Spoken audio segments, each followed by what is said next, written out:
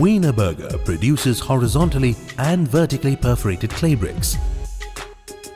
These bricks are used to fulfill non-load bearing as well as load bearing construction needs. Porotherm horizontally perforated clay bricks enable high-rise construction at minimum dead loads.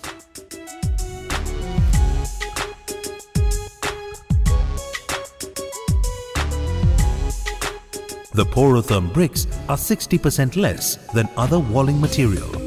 Excellent thermal insulation which results in reducing energy consumption and green building concept.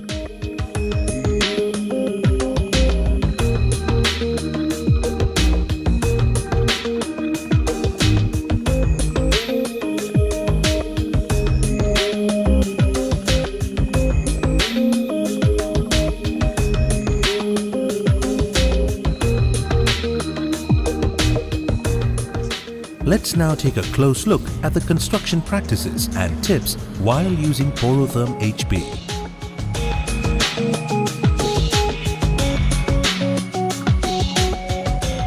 Safety is always a priority, so ensure safety by wearing your safety gears. Unloading process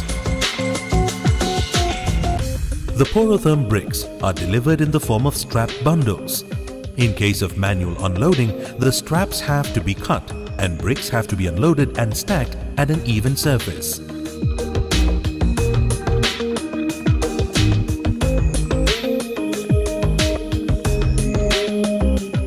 Porotherm HP bricks are light compared to any other walling material, making it easy to carry.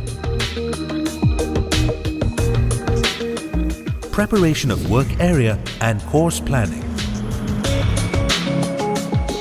Identify the location of the wall to be constructed and mark the site as per the architectural plan.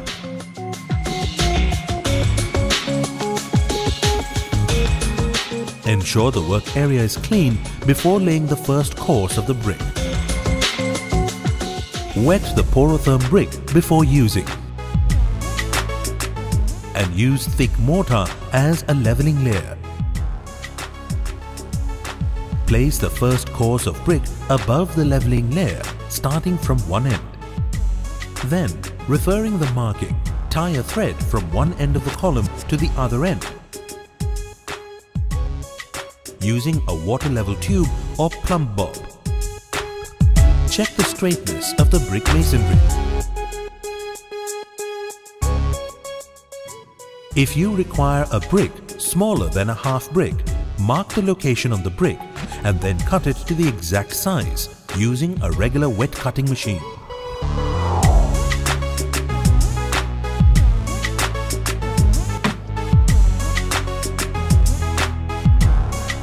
Fixing of windows and doors. Windows or doors can be fixed in two methods. Using a clamp or holdfast. Using a plastic anchor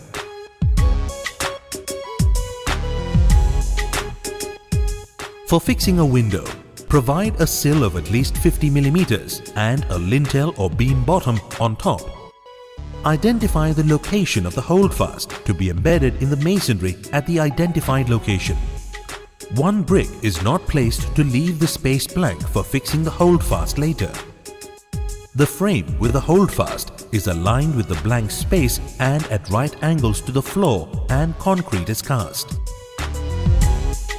embedding the holdfast in the blank space.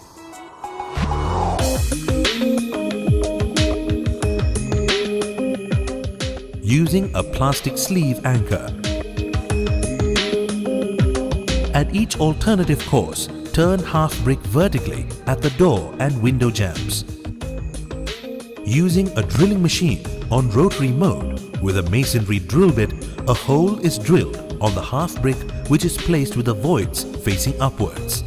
Match the hole in the window frame and the hole in the brick.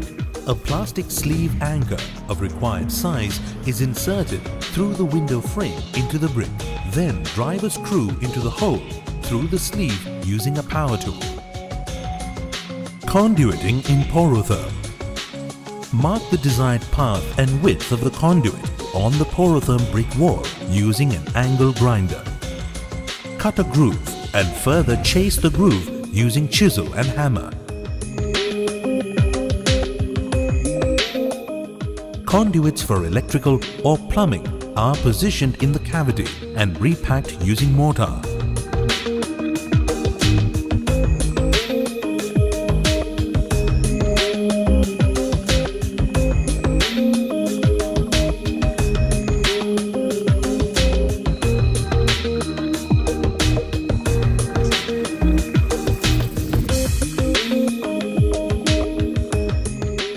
Fixing of loads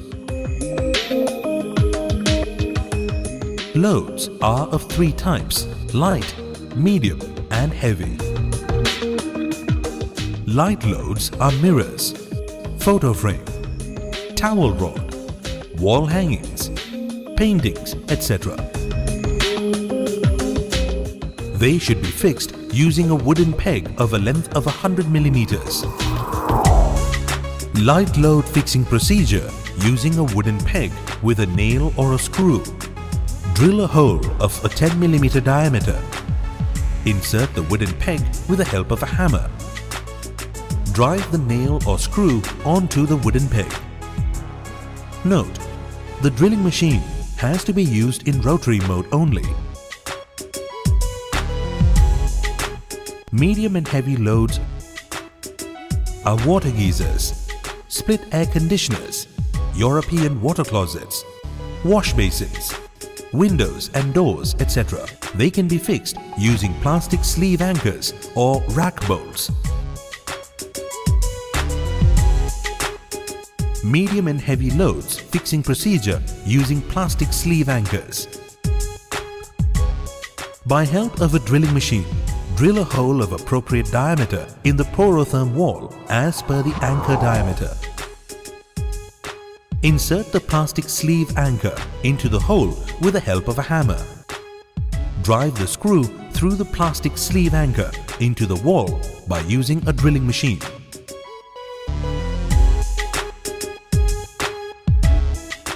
Note, the drilling machine has to be used in rotary mode only.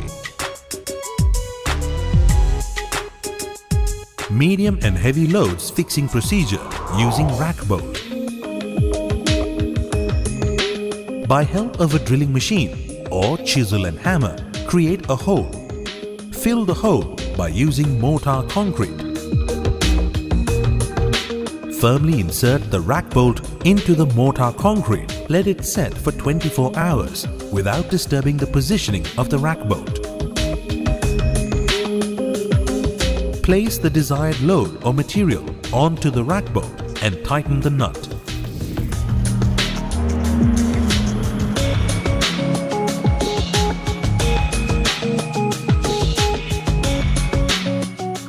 Plastering method Plastering on porotherm wall should be done with spatterdash. Spatterdash to be applied on a slightly wet masonry wall. It provides a uniform suction property for better adhesion of the plaster. A minimum of 24 hours curing is needed before the final plaster is applied